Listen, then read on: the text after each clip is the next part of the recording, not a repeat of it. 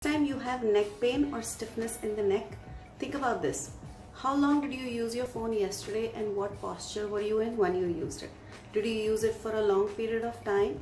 Was the phone in your hand and you were looking down or did you prop it up and look at it like this? Were you watching a series on it for a long period of time or just used it sporadically all through the day?